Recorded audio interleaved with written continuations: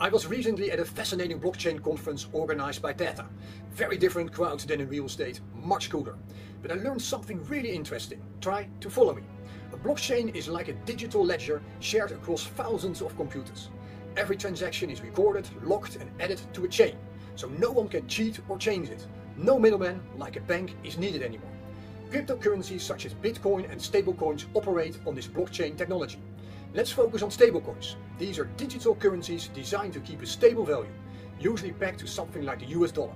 The total stablecoin market is now over $300 billion and more than 99% are dollar denominated.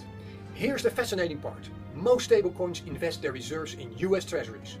Now have a look at the change in US debt by foreign holders. The Cayman Islands, France, Luxembourg, Belgium, Singapore and the UK were the top 6 buyers in 2024. With Tether, the world's largest stablecoin with about 58% market share, ranked number 7, while some traditional buyers like China and Japan have been selling.